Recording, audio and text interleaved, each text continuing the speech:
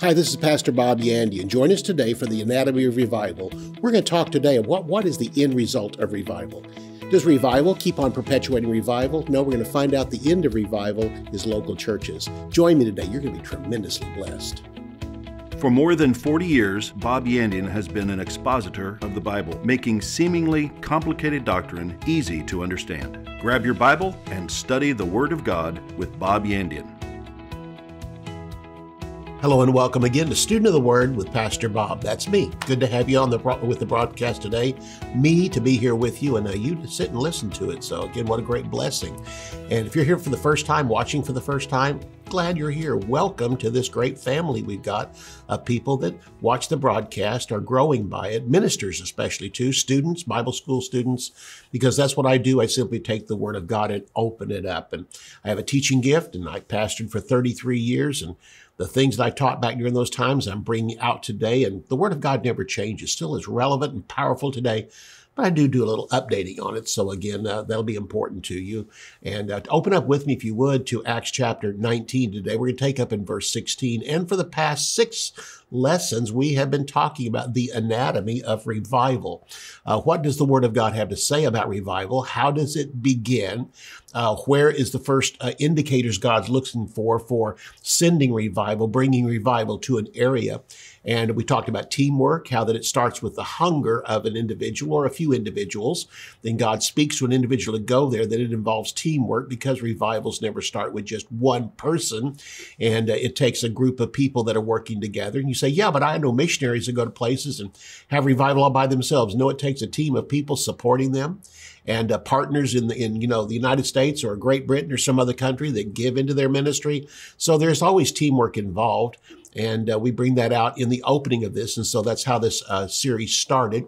We actually started in chapter 18, the end of the chapter with the teamwork, and then the revival broke out in chapter 19. And uh, last time we ended with verse 15. And this is the essence of it. The revival started in the opening verses of chapter 19 with the outpouring of the Spirit on 12 men that uh, Paul ran into that were disciples, honestly born again, but weren't filled with the Holy Spirit.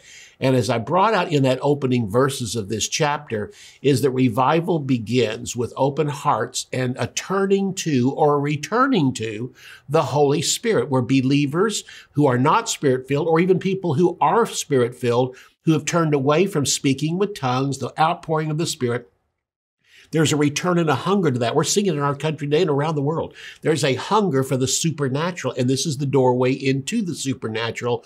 And of course, this is how revival broke out at Ephesus with the supernatural outpouring of the Holy Spirit, miracle signs, wonders, people healed. Uh, we have uh, in uh, in the verses around 10, verse 10, 11, 12 in that area where special miracles were done by the hands of Paul. From his body were taken handkerchiefs and aprons and taken to the sick and the demon possessed. And as they laid those, uh, the people laid those on the sick and demon possessed. The evil spirits came out of them. The diseases left them. Great revival has broken out and literally the entire continent of Asia is going to be shaken by this three year revival that occurred at Ephesus. And now Paul has been meeting in the school of Tyrannus. And uh, this was a medical school that was taught medical students up until about noon. And in the afternoons, the building was open. Paul used it in the afternoons into the evening with services and great outpourings of the Spirit, people running throughout the city, seeing people healed, delivered, set free. And then, of course, we face Paul's opposition in these verses where just before this time, there were seven sons of Sceva, which were uh, that cast out devils, and uh, they were called exorcists. We're not, we're never called exorcists because that's a term used for witchcraft. And so we cast out devils. In fact, the term exorcist is only used in this particular chapter. And so they took Paul's uh, formula, basically, they thought it was a formula, and they added the name of Jesus to what their successful one was. And when they did that, then the evil spirit actually spoke against them.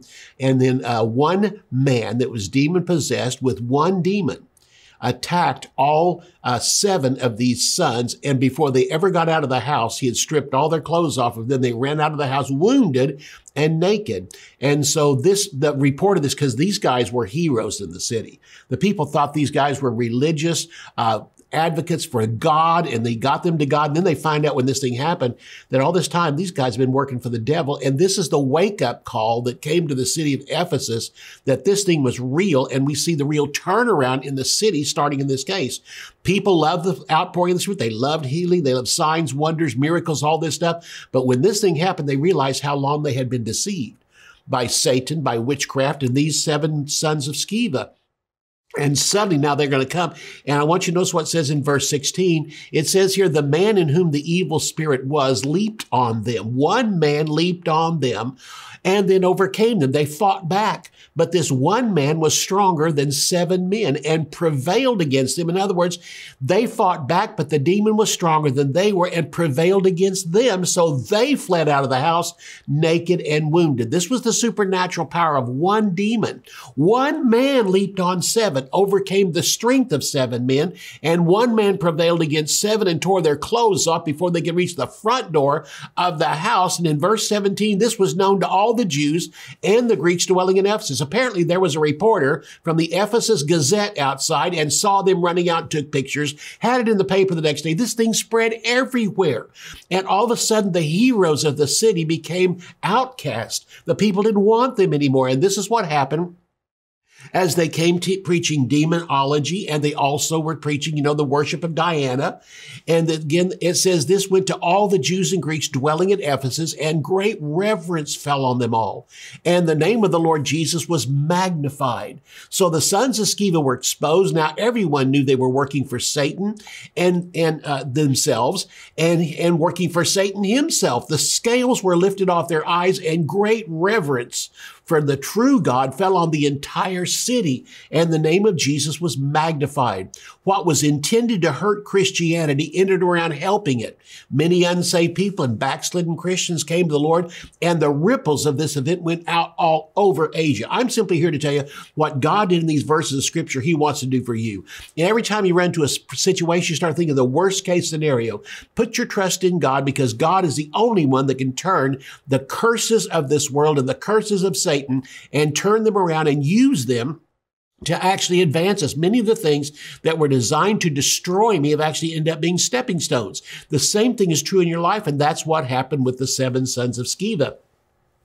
They came and they were going to cast out this demon, add the name of Jesus to their formula, make their their uh, you know their uh, profession even larger, affect more people, take away the credit from Paul by using it, and all of a sudden, when they use the name of Jesus, this the whole back thing backfired on them, and now they are being exposed in front of the whole city as hypocrites and working for the devil himself. And now the people all over the city come and they're now coming to worship the Lord. They now have there's a whole turn inside of them, and this is the point right here at this point where revival is going to change. I have been telling you all this time that there is an end to revival. The end result of revival is not more revival. What's going to happen after this is we're going to see suddenly Paul's going to be thrust out of the city. The whole city is going to turn, the business community is going to turn against uh, Paul and his workers. The population of the city is turned more toward the Lord Jesus Christ than ever before, but the business crowd is having their business affected. We will come up with that in just a moment. It goes on to say in verse 18, many who believed came. These are believers or carnal believers. Now, these are either new believers who haven't turned loose of witchcraft because they didn't know there's anything really wrong with witchcraft. But it says they came and then confessed and showed their deeds. So believers who are out of fellowship with the Lord, maybe had been saved for some time in Ephesus, but no longer stood up for the Lord, came and repented because they had been working and dabbling in witchcraft.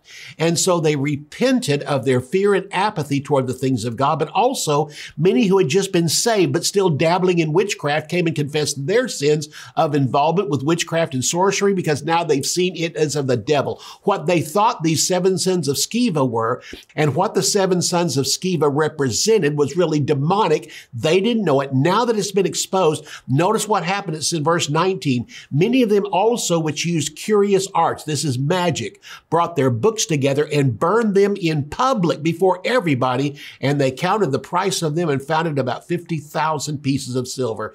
I can't find today anything close to what that was the worth of today's, in today's society. But can you imagine 50,000 pieces of silver?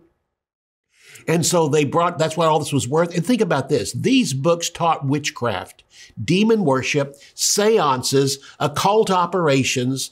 This burning was a monument of their renewed lives. In other words, before this, they repented in their heart. Now they came and burned all their books and openly repented in front of everybody for what they had been following and showed that burning these books, witchcraft stops here. From this point on, up and before this time, there has been witchcraft in our city.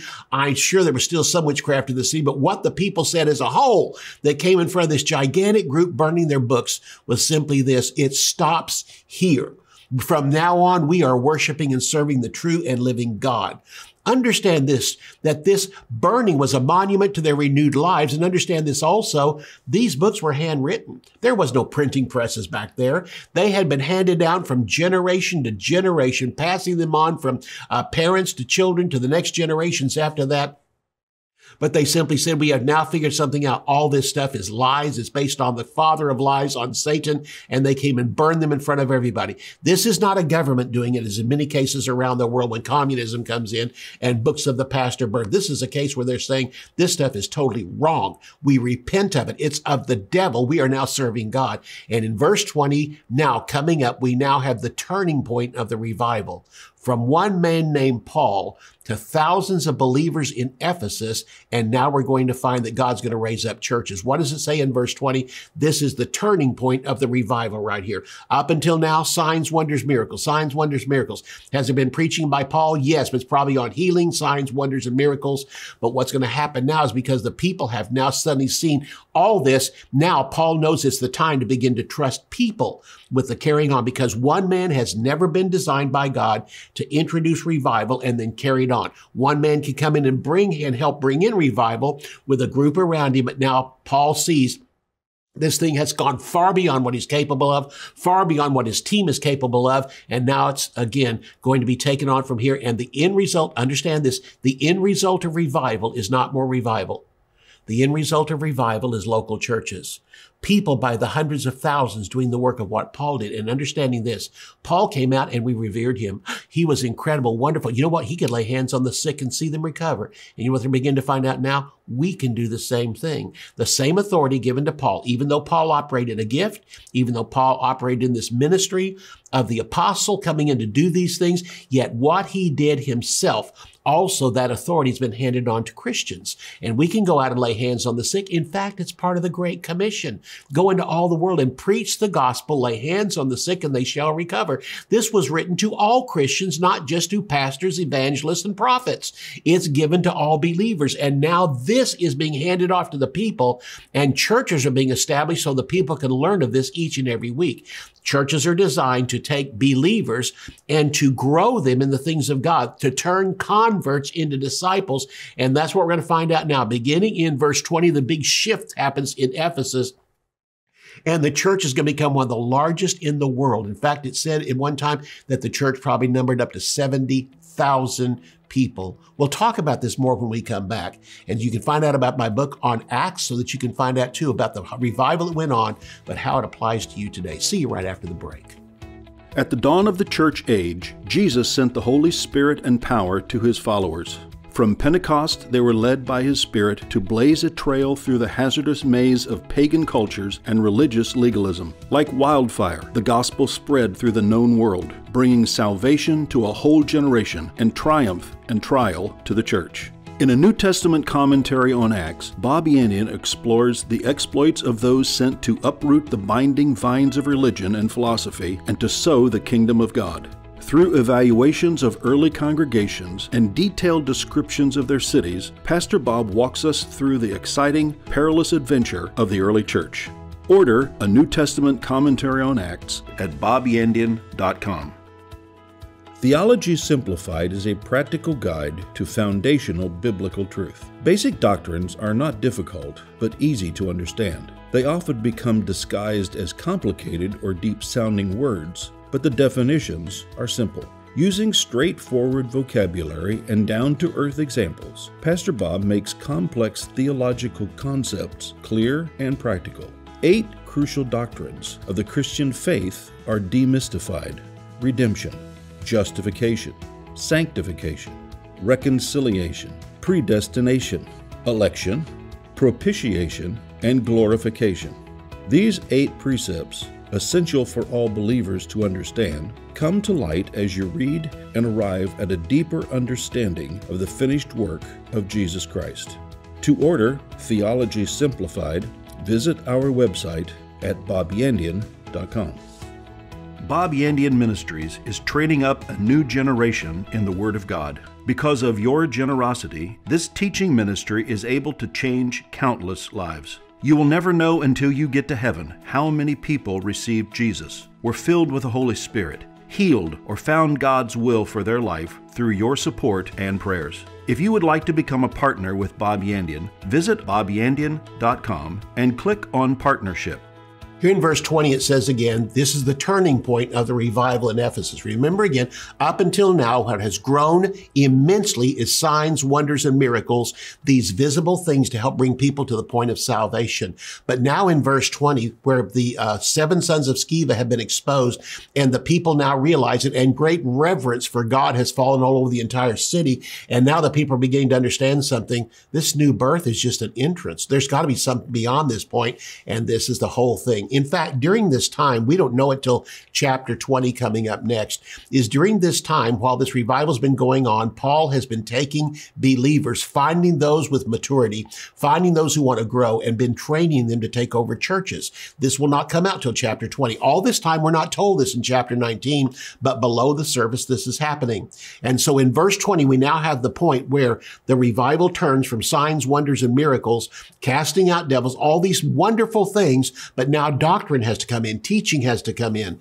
Jesus said in chapter 8 of the book of John to those uh, Jews that just believed in him, while he was preaching, it says many believed on him. And Jesus said to those Jews which just believed on him, he said, Now, if you continue in my word, then are you my disciples indeed. Being born again is starting in the word. But after we start in the word of God, now we need to continue in the word of God. And he says, if you continue in my word, then are you my disciples indeed, and you'll know the truth. The truth is the word of God. You'll know the truth and the truth will make you free. You say, but I am free when I got born again. Yes, you are spiritually, but to be free in your outward life, in your thinking, in your reacting toward the world, to have biblical standards to fall back on is not bondage. It is freedom like you've never known before. I'm free when I get born again because I'm free from Satan's power. But as far as the influence of the world, 30, 40 years of thinking the way the world does and now having to renew my mind, that's where the word of God comes. Faith for the unbeliever is in Jesus, but faith for the believer is in the Word of God. The object of faith for a sinner is to accept Jesus Christ as Lord and Savior. Jesus is the object of your faith. Once you're born again, now the object of your faith is the Word of God, and that comes by studying, or as it says in Romans chapter 12, the renewing of your mind. So this is the turning point in verse 20 for thousands of believers in Ephesus. And now there's going to be the setting up of local churches. In verse 20, here's what we find. Verse 20, so so means thus, or in the same way, mightily grew the word of God and prevailed, it gained strength. Up until now, what has prevailed? Signs, wonders, and miracles. They've been gaining strength all through this chapter, and they hit a culminating point where all of a sudden people begin to understand something. This thing is huge. And even Paul realized this thing is huge. I and my crew can no longer manage this thing. It has to be managed by people we turn it over to, and that's going to be pastors. The word of God started out far behind the power and might of Diana and the religion of Ephesus. Through the period of three years, the word continued to grow until it overcame and prevailed, and signs, wonders, and miracles were growing until it overcame and prevailed.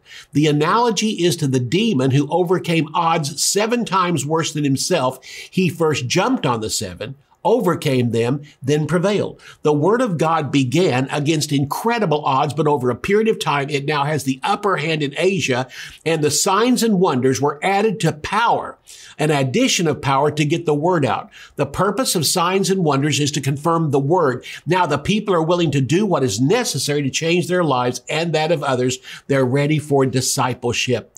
And in verse 21, we now find something. At verse 21, now Paul has determined he's going to pass through Macedonia, come out of it, head to Achaia and go to Jerusalem. And after that, he's going to go to Rome. He now realizes now is the time to turn this over to pastors. And after three years, I'm tired. I'm worn out. I have to take a break. So this revival has been going on for three years without Paul having any time to take any time off. So much has been going on. The city is so huge. So many things have been going on with the uh, synagogue of the Jews, with the people on the streets, with the people in their homes, with the seven sons of Sceva. And now it's come to this point where all of a sudden the whole city just taking note of the power of God because not only has the truth been exposed, but also the falseness has been exposed. Satanic things have been exposed. The lie has been exposed. And the people now realize we need some more besides this. And that's where pastors have to come in.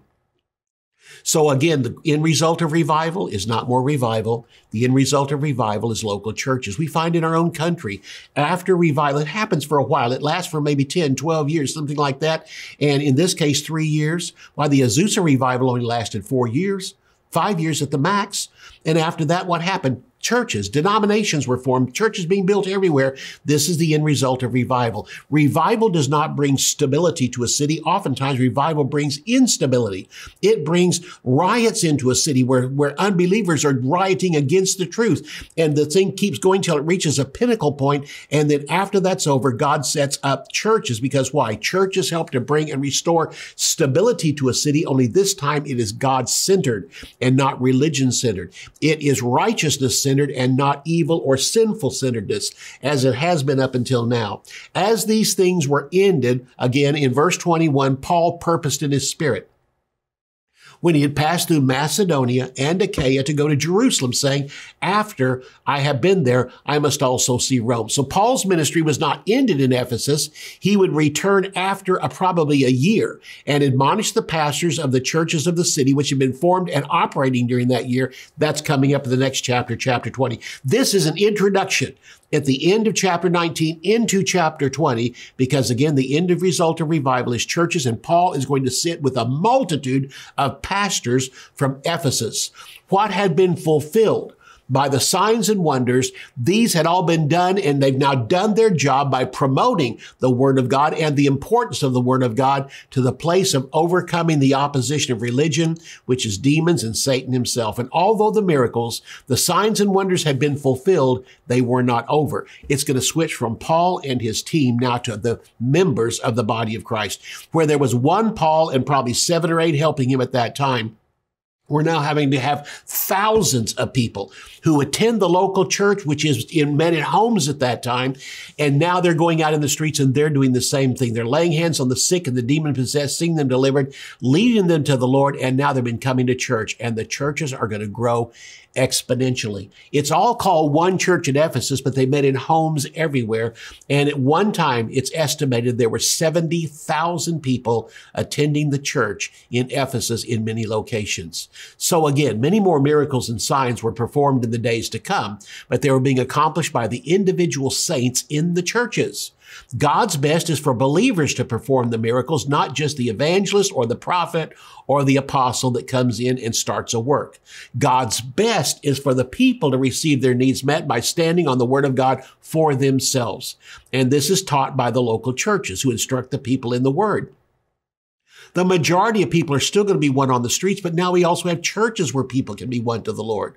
Paul knows his own time was coming to an end and he'll have to leave for a while. And now he purposes by the direction of the Holy Spirit to go to Jerusalem and then to Rome. And it will be God's will for him at that time to go to Rome. Verse 22 says this, So he sent into Macedonia two of them who ministered to him, Timothy and Erastus, but he himself stayed, this is at Ephesus, for a season.